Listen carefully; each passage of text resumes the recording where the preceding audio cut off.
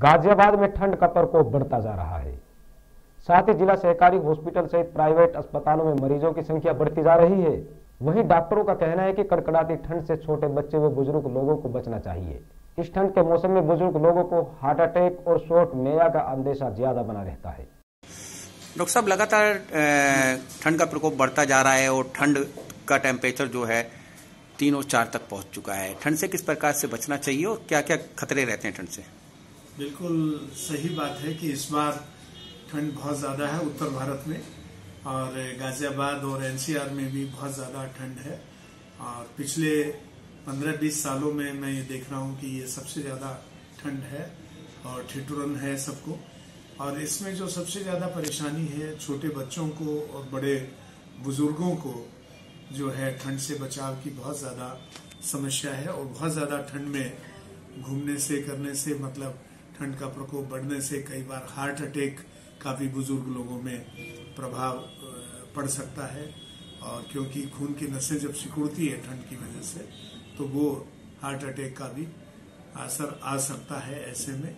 और इसके अलावा जो एस्थमा, दमा के जो पेशेंट है, क्रोनिक ब्रोंकाइटिस के सीओपीडी के, खांसी के जो मरीज़ हैं, जिनको लगातार सांस की तकलीफ़ रहती है, उनको इससे ज़्यादा बचाव करना चाहिए और बचाव के यही है कि भी हमें गर्म कपड़े सब पहनने चाहिए, शरीर को पूरा ढकना चाहिए और कोल्ड एक्सपोजर से डायरेक्ट कोल्ड एक्सपोजर से बचना चाहिए।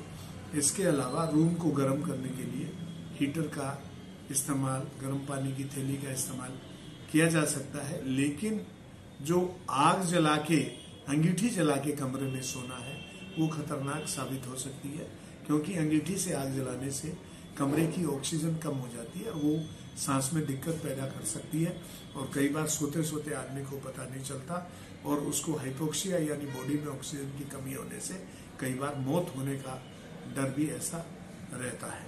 खुली हवा में वैसे अगर खुले में जो लोग रह रहे हैं, उनको भी आसरा जो सरकार की तरफ़ से, नगर निगम की तरफ़ से मिलना चाहिए कि वो भी आश्रय में रहे, बंद, चार दीवारी में बंद में रहे और अगर खुले में फिर भी रहना पड़ता है तो अलाव जला के, यानी कुछ उससे जो है ठंड को भगाया जा सकता है। लेकिन उससे फिर प्रदूषण की प्रॉब्लम बढ़ जाती है।